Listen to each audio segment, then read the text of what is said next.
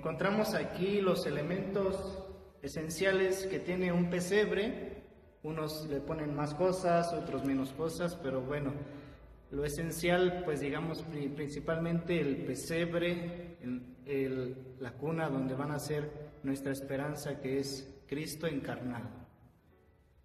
La Virgen María y San José que están en esa espera, en esa expectativa del nacimiento del Hijo de Dios y lo esperan con gran amor.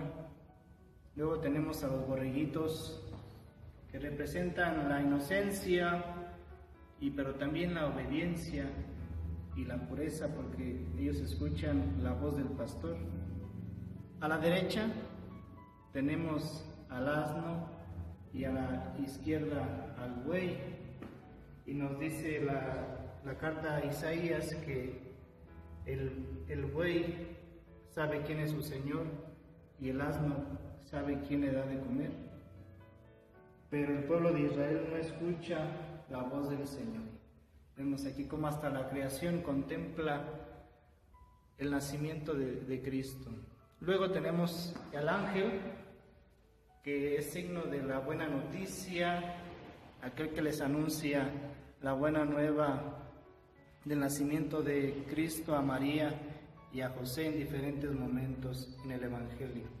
Luego tenemos a los famosos reyes magos, que en la tradición son Melchor, Gaspar y Baltasar, que llevan estos regalos de oro, incienso y mirra. Oro como que Cristo es rey, incienso que es sacerdote y mirra porque es una hierba amarga que representa también la amargura de la cruz. Tenemos también al diablo por acá en, que representa pues el pecado, la tentación que se vencen cuando nosotros nos encontramos en verdad con Cristo encarnado.